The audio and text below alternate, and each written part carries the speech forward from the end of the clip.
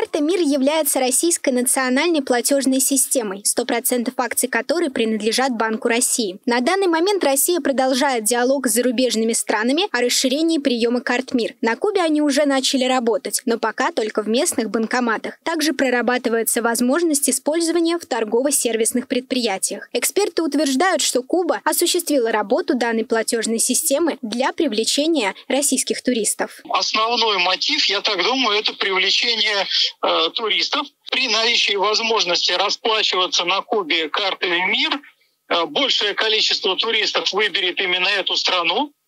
И, что немаловажно для кубинцев, а, люди смогут потратить больше денег. Естественно, что в этих условиях расходы у туристов будут выше, а доходы кубинцев тоже будут выше. В настоящее время на сайте Национальной системы платежных карт Российской Федерации информация о странах, в которых принимаются карты МИР, недоступна. Но по данным средств массовой информации, 11 стран уже используют платежную карту. Возможность приема также обговаривается с Ираном, Египтом и Венесуэлой. Я думаю, что этот процесс э, будет постепенно нарастать. К сожалению, здесь э, присутствуют две препятствующие этому вещи, поэтому процесс идет очень медленно. Если бы не это, то процесс шел бы гораздо быстрее и по крайней мере, в тех странах, которые традиционно посещают российские туристы, Э, карту МИР бы уже принимали. Препятствием принимать данную платежную систему в других странах, по мнению эксперта,